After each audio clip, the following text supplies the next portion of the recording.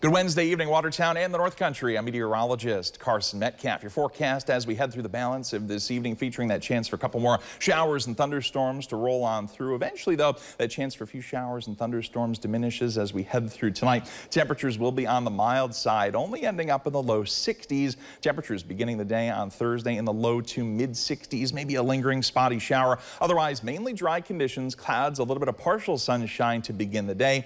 Increasing sun, though, as we head through the day tomorrow. The forecast high here in Watertown getting up into the low 70s. Temperatures staying in the low 70s with a good deal of sunshine here on Friday. Chances for scattered showers and thunderstorms back on the rise, as will those temperatures be on the rise as well into the mid 70s to start the long holiday weekend Saturday. The driest day looks to be Sunday with some sunshine. Temperatures mid 70s before rain chances ramp up once again heading into Memorial Day Monday.